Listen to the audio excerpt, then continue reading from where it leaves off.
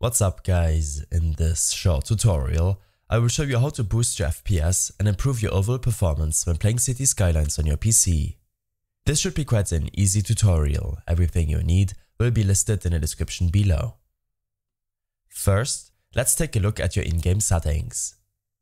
Most of these settings will depend on your system's components and if your CPU or GPU is a bottleneck to your performance. Set the aspect ratio and resolution option to your native monitor resolution. In case one of the next tweaks helped you out as much as you wanted, then make sure to reduce the resolution option as well. This will in any case reduce the visual quality, but your performance will increase in any way. Set your display mode to full screen. I have set it to windowed as it's easier to record. Make sure to disable VSync and then apply your display settings. In your graphics preferences, set the color correction override to your liking. I prefer to disable this option as well. Below, disable the depth of field and the film grain option will not change your performance. In your quality settings, make sure to disable shadows. Set the texture quality to low, level of detail to medium, disable anisotropic filtering as well as anti-aliasing. When this is done, Leave the game running and open up your task manager. Here in the Processes tab, right-click Cities and select to go to Details. In the Details tab, the cities.exe application should be highlighted. Simply right-click it and set the priority to High. This will in turn allocate more resources to playing the game and should increase your performance, especially if you have other programs running in the background. In order to reduce the CPU utilization from other applications, I suggest you to end some processes from running in the background in the Processes tab, which you don't need when playing the game. But make sure to only add programs from running which you know won't break your operating system. You can now close the game and your task manager. Next, open up your Steam library. Here, right-click City Skylines and navigate to the game's properties. In the General tab, make sure to select Set Launch Options. The commands you enter into this dialog box will be applied to the game every time you launch it. These commands will make sure that the game is utilizing the most from your system's performance and will in turn also reduce the overall performance needed to run it on your PC.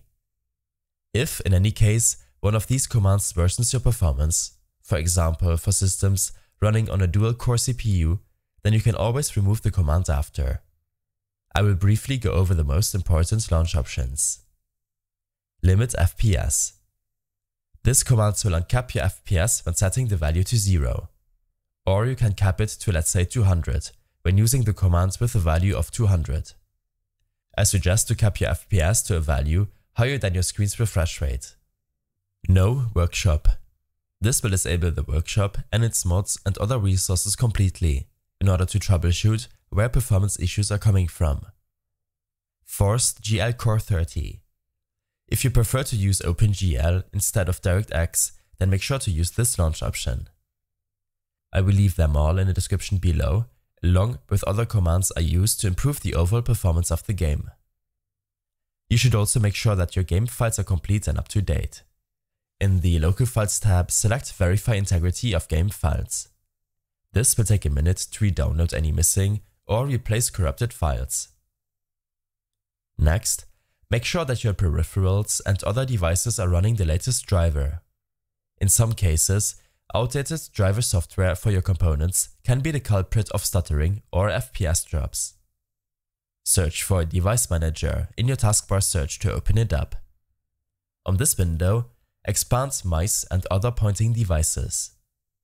Right-click the device you are using, select Update Driver, and then search automatically for updated driver software. In case you're unsure about which device you're currently using, then repeat this step for each device. You should also update your network adapter, display adapter, and disk drivers. When this is done, close this window and make sure that your graphics driver and operating system is up to date. This step can make the biggest performance difference, depending on how often you're updating your drivers. In case you're using an Nvidia graphics card, then I suggest using the GeForce Experience application. Otherwise, you can also use the AMD driver suite. In the Drivers tab, simply click on Download and the application will automatically download and install the latest driver. The Home tab, select Details for City Skylines and then select this wrench icon. This allows you to optimize some options for performance when using this slider system. Lastly, in your settings under General, make sure that the in-game overlay is turned off. This can in some cases result in random lag when enabled, especially on systems running a low-end CPU.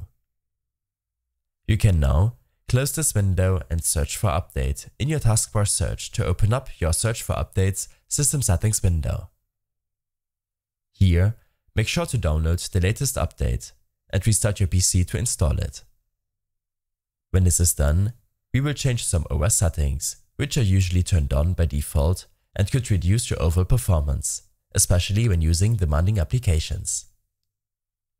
Search for Game Bar to open up the Game Bar system settings. Here, uncheck the recording option, and in the Captures tab, make sure to additionally disable the background recording option. These settings will only reduce your performance. If you want to record your gameplay, then I suggest using OBS Studio or an external capture card if you lack performance. When this is done, search for Graphic Settings and open up your graphic system settings. On this window, select Browse and your File Explorer will open up. From here, navigate to the drive on which you saved the game on. Program Files, Steam Apps, Common, City Skylines, and here select the Cities application and then add it to the program list. Once it's added, you can change the options of the application so that the graphics preference is set to high performance. Don't forget to apply your changes. Again, in your settings, look up Startup to open up your Startup Apps options. Here, you should disable apps from automatically starting up on system boot. Especially applications such as Skype or Discord can be taxing to your overall system performance and should be enabled when you actually plan to use them. Next, we will change a few settings in your NVIDIA control panel. Right-click your desktop and select to open it up. Here, navigate to Manage 3D Settings and then Program Settings. Select to add a program to customize and then add City Skylines from the program list. Below, we will change a few settings. Make sure that the CUDA setting is set to your main GPU. Set the power management mode to prefer maximum performance and set the texture filtering quality to performance. Make sure to apply your changes as this will improve the game's performance when using a low-end graphics card. In case you have decent system performance and none of these steps helped you out, then you might have malware or other third-party software running on your system. You should uninstall recently installed software to find out which application is causing the issue. In some cases, Adobe applications or Shadowplay reserve a big part of your memory to run in the background. I hope this helped you out. Leave a comment if you have any questions and see you in the next one.